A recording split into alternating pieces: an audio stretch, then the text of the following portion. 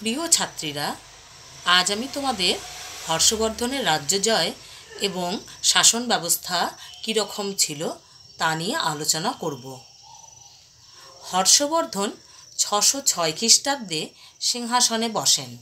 তিনি একই সঙ্গে কৌনজ এবং থানেশ্বর দুইয়েরই শাসনভার কিন্তু গ্রহণ করেন।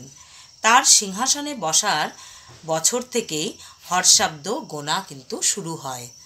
তার রাজ্য জয়, হর্ষবর্ধনের রাজ্য জয়। সিংহাসনে বসার পর হর্ষবর্ধন অনেকগুলো রাজশক্তির সঙ্গে সংঘাতে জড়িয়ে পড়েছিলেন।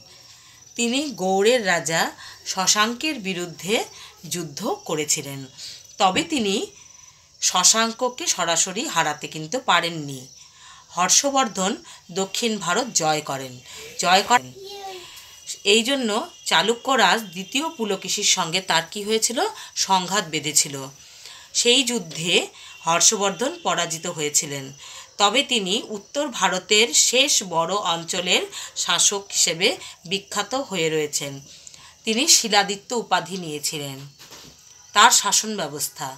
হর্ষবর্ধন ছিলেন শাসন ব্যবস্থার প্রধান। তাকে সাহায্য করত কারা? মন্ত্রী পরিষদ ও অমাত্যরা। তার সাম্রাজ্য কয়েকটি প্রদেশে এবং তার প্রদেশগুলি বিষয় বা জেলার মধ্যে কিন্তু বিভক্ত ছিল। এই শাসন ব্যবস্থার সর্বনিম্ন স্তরে ছিল গ্রাম। হর্ষবর্ধন প্রজাদের কাছ থেকে উৎপাদিত ফসলের ছ ভাগের এক ভাগ অংশ কর হিসেবে আদায় করত। তবে ধর্মীয় প্রতিষ্ঠানকে বিনা করে জমি দান করা হতো। তিনি বণিকদের কাছ থেকেও কর আদায় করতেন।